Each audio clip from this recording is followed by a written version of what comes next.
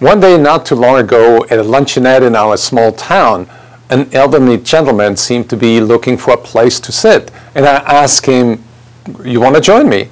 And we started to talk, and he was intensely curious. Within minutes, he knew that I was born and raised in Austria, that I started Selling Power magazine, and that I published 16 books on selling and sales management. In each time, he had collected a piece of information. He asked for more. He was genuinely interested which made it a pleasure for me to answer every question. And then, reversing the process, I found out that he had started his career as a car salesman. Later, he moved on to real estate, invested in commercial properties, and later he developed office buildings and shopping centers. And as he told his story, I realized that I was talking to one of Virginia's richest men whose net worth exceeded $500 million. I was impressed with his humble and modest demeanor.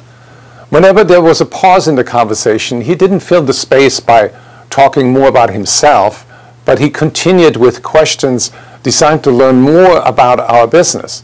After we finished our lunch, he asked me to send him a magazine so he could share some selling ideas with his sales manager. Our conversation made me wonder about the power of curiosity. People who are genuinely curious, they ask more questions and they tend to get more answers. In return, they'll learn more. While many trainers and consultants teach the importance of asking questions and the art of good listening, nobody teaches us how to harness the power of curiosity. Curiosity moves people from complacency to action. But what fuels curiosity? Interesting and deeper questions move people to the outer branches of the ever growing tree of information. As new pieces of the puzzles emerge, we feel more compelled to uncover the entire picture.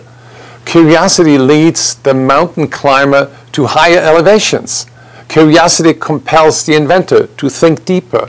Without Thomas Edison being curious about finding a filament that would emit light but wouldn't burn up in a vacuum tube, there would be no light bulb. Without Madame Curie wondering about a curious substance that emitted light when she left it in a petri dish in her laboratory overnight, there would be no X-ray technology.